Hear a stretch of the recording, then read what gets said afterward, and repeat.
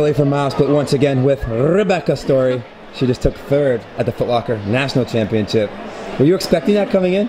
Uh, not really. I knew I, my goal was to get All American. I did that. So, Just to- just um, I mean, third is amazing. Like I, I don't think I could have run any better. You know? Yeah. Um, like what was going through your head? When did you think like? When did you know like today's your day? Like you're gonna run really good. Um, well, obviously it's a national meet, so I was a little nervous. You know, lots of attention and everything. So um, there was that factor, but um, I flew all the way out here. I was like, I'm gonna do well today. It's in Balboa Park. I've always wanted to run there, so um, I just went out there and.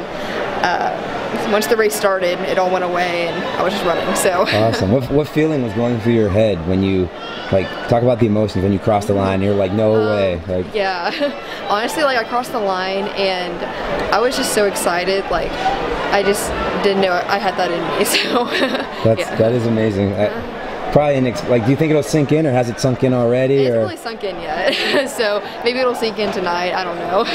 That's awesome. Um, so I know you probably couldn't have run much better, but is there something that you would, if you could run it again, that you'd be like, oh, I definitely would go out harder? Um, I had a really good race, but if I could change one thing, it would probably be getting out a little bit faster.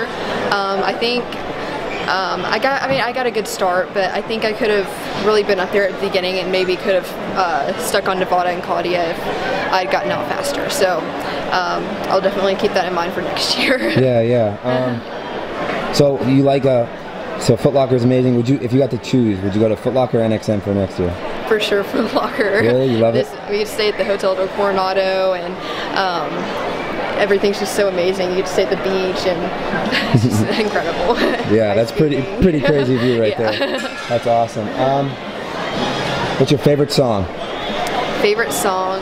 Um, well, before my race today, I listened to The Greatest by Sia. Love. Hey, awesome, awesome. Uh, anything else you have to say? Uh, just want to thank my family and my coach for everything and uh, coming out here to watch me. Awesome. What's next? What's your goals in track?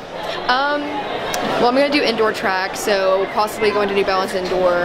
Uh, hopefully, I can do well there. And then I'd like to um, uh, maybe someday. I mean, this is like by the time I graduate, but maybe break like the national record for the two mile. That'd be really nice. So. Woo! You heard it here first. You heard it here first.